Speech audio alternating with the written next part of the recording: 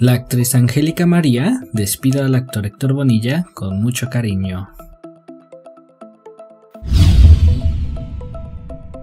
Sin duda alguna, en los medios de comunicación, el deceso del señor Héctor Bonilla ha generado mucha tristeza en la industria del entretenimiento mexicano, por lo que ante ello, diversos amigos y colegas han lamentado su fallecimiento, expresando sus más sinceras condolencias a los seres queridos del histrión. Además, algunos han recordado unas cuantas anécdotas sobre Héctor, con las cuales siempre lo recordarán con mucho cariño. Y una de ellas, quien más ha destacado, ha sido la actriz Angélica María, la cual también es conocida como la novia de México.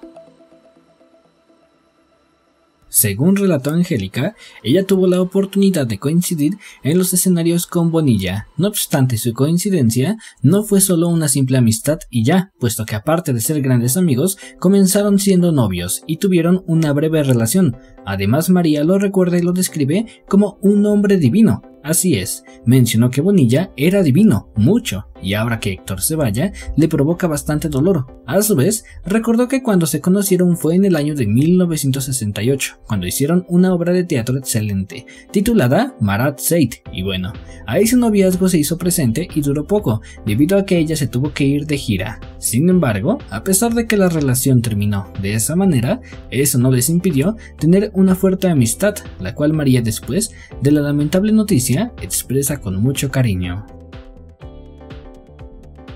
Asimismo, las palabras que mencionó la actriz y cantante con una voz entrecortada por el dolor fueron estas.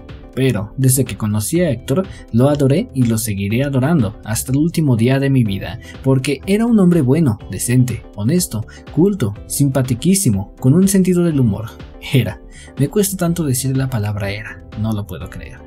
Y a su vez recordó que actuó junto con él en lo que sería su última película, titulada Una Navidad no tan padre, del año 2021.